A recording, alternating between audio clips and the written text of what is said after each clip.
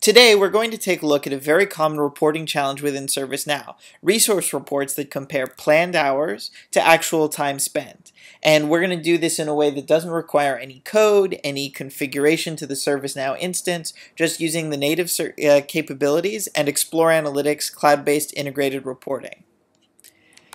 So we're going to combine data from two different tables that are going to make this. The first is we're going to look at the planned side of the equation. Now, depending on your instance and how you're tracking this, this might be in different areas, but for right now, we're going to assume that you're tracking the planned hours on the resource allocation table. So we're going to create a chart that is resource hours by user. And I'm going to select a category chart so that we can break this down uh, by bar. And we're going to group this by the resource that this is for. And instead of showing the count here in the value field, what we want to do is remove that by clicking the X. And then we're going to look at the sum of the allocated hours. That's going to show us all of the hours that have been planned by the user. So now I have this report that's showing by user resource how many hours have been allocated to them.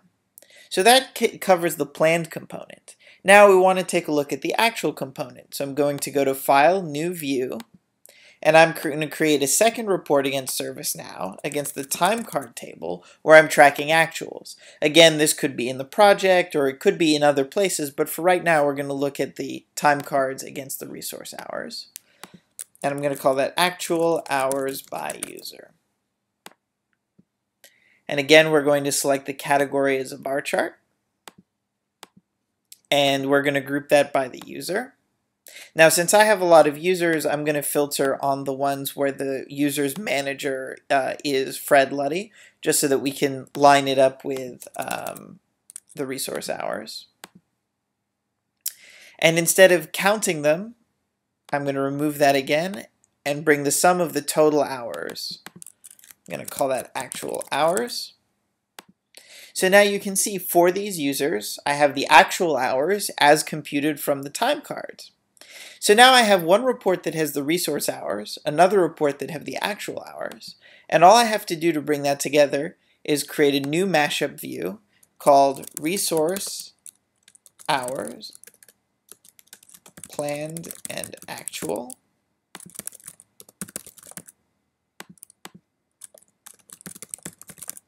And I select these two views that I've already created in the input names. And it could be three or four, but for the moment I have two, resource hours and actual hours. Now as soon as I click OK, it's going to bring together those two different sets of, uh, of information from those two different tables. So you can see here that Elliot has 446 hours allocated, and in actuality, we've used 368 of those. Now, in addition to that, let's suppose I wanted to look past this and actually understand what the difference between those are. I can come in here and click this calculator icon and say the uh, variance is allocated hours minus actual hours. So you see it's just a simple formula that puts together the allocated minus the actual hours. And that gives me this third bar here. So I can see that if Alex is allocated for 524 hours and has spent 209 of those hours, then we have 315 hours left over. And now I can sort by the variance from largest to smallest. So who has the most time left over? You can see that Vishnu has the most, and then Rajesh, and then Sanjay. Now, for all of these, this report, I can actually still drill through down to the to the records that sit behind this, so the resource plans and the uh, time cards. And it's very easy for me to switch this to a horizontal bar or to show the values on that. So again, as the user, I can very easily look through that or just show the variance if I only wanted to see that. Now, once I have this, is very easy to put on my ServiceNow dashboard. I just go to File, and I say Publish.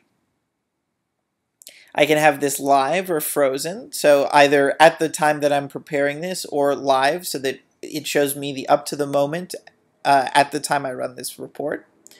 And I click Publish Now to say put that on my ServiceNow dashboard. and I can adjust the width or the height. I can hide or show any of these you know, user interface components, and as soon as I click Finish, I get a URL that's very easy for me to share. I can embed this into a SharePoint site or you know a non-ServiceNow user interface. But if I switch over to my uh, ServiceNow dashboard, right, so this is my you know financial information, and I want to add this new resource report to it. I click Explore Analytics, and then I find my resource hours, planned and actual, and I add this to my dashboard. So just a few clicks, I've put together an actual versus planned uh, hours report.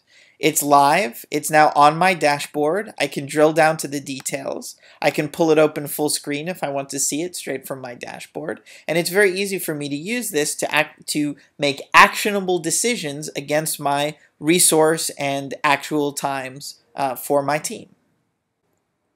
Thank you for joining us today. If you want to find out more, you can go to the Explore Analytics website, uh, or you can try a free 30-day trial and see how this works in your environment. Thank you very much.